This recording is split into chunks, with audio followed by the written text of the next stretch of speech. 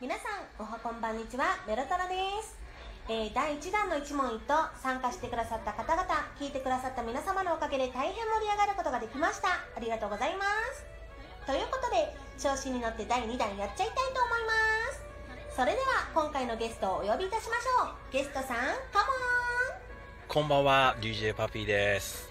来た来た来た来たこの BGM! イエーイお越しやす京都か、ここは。じゃあ早速今回も質問攻めしちゃいますよレッツゴーまずはあなたが夏と聞いて一番に連想することを教えてください夏ですか。うーん、うんうんなんだろう。花火かなやっぱり昨日行ってきたんですけどね。よかったよ、やっぱり花火は。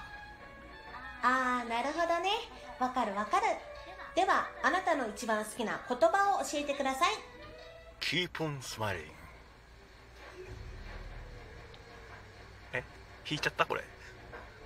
ホムホムホムホム。うちはね清く連理って言葉が一番好き意味が気になる方は Google で検索検索ねわかった。ラジオの最後にえ。ー、あなたの好きな国はどこですか？国、えー、っとですね、アメリカですね、やっぱね、行ってみたい。ハワイにしか行ったことないですけどね、アメリカ、俺、ブーロードウェイ行きたいんですよね。ねうん、あなたはインドア派？それともアウトドア派？完全なるアウトドア派ですね。もう一日どっか行かなきゃ気が済まない。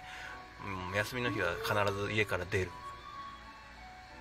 うほうほううちさめっちゃ卑怯な回答していい、ん、うん。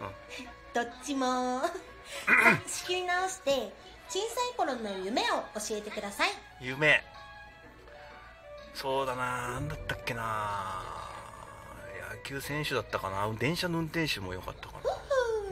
子供の頃の夢ってさ、無条件に可愛いよね、じゃあ次は好きなスポーツはありますか？えー、っと、もう、あれば教えてください。あるよ。野球しかないかなやっぱりね。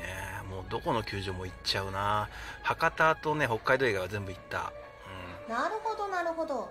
うちはねバスケとかが好きだった。あー。まあくまうんでスラムダン過去形ねクって感じか。ズバリあなたは何フェチフェチ。うーんそうだな。じっと見つめられフェチ。いやんうほうほなっちゃうあ興奮しちゃうってことね。あそうそう。じゃあお酒は好きですか？好きな人は何をよく飲みますあか？あお酒はもう大好きですね。もうハイボール全制覇。みたいな。片っ端から飲んじゃうよ。